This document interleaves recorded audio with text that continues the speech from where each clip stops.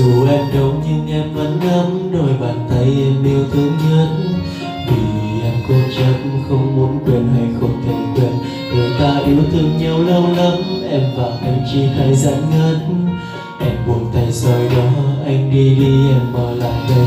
Phải làm sao anh mới nhận ra, em yêu anh hơn tất cả. Dù là em chưa từng nói ra một thời gian khi không gặp nhau, sẽ trở nên xa lạ. Dù hai chúng ta đã từng yêu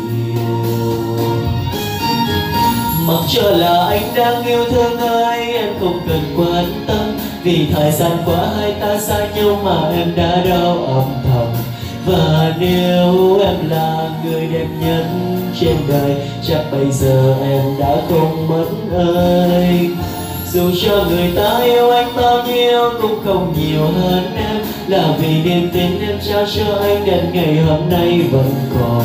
Buồn tay khi còn yêu là điều em sợ nhất. Vì em vẫn còn yêu anh.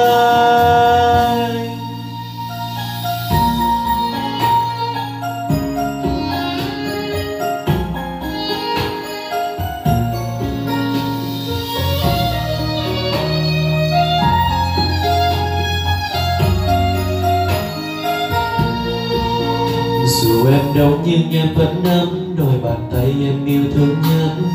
Vì em cố chấp, không muốn quên hay không thể quên. Người ta yêu thương nhau lâu lắm, em và anh chỉ thay gian ngắn em buông tay rồi đó, anh đi đi, em ở lại đây. Phải làm sao anh mới nhận ra, em yêu anh hơn tất cả dù là em chưa từng nói ra, một thời gian khi không gặp nhau sẽ trở nên xa lạ. Dù hai chúng ta đã từng yêu, mặc cho là anh đang yêu thương ai, em không cần quan tâm. Vì thời gian qua hai ta xa nhau mà em đã đau âm thầm. Và nếu em là người đẹp nhất trên đời, chắc bây giờ em đã không mất anh dù cho người ta yêu anh bao nhiêu cũng không nhiều hơn em. Là vì niềm tin em trao cho anh đến ngày hôm nay vẫn còn. Buông tay khi còn yêu là điều em sợ nhất. Vì em vẫn còn yêu anh. Mặc cho là anh đang yêu thương ai, em không cần quan tâm vì thời gian quá hai ta xa nhau mà em đã đau âm thầm. Và nếu em là người đẹp nhất trên đời, chắc bây giờ em đã không mất ơi. Dù cho người ta yêu anh bao nhiêu cũng không nhiều hơn em. Là vì niềm tin em trao cho anh đến ngày hôm nay vẫn còn.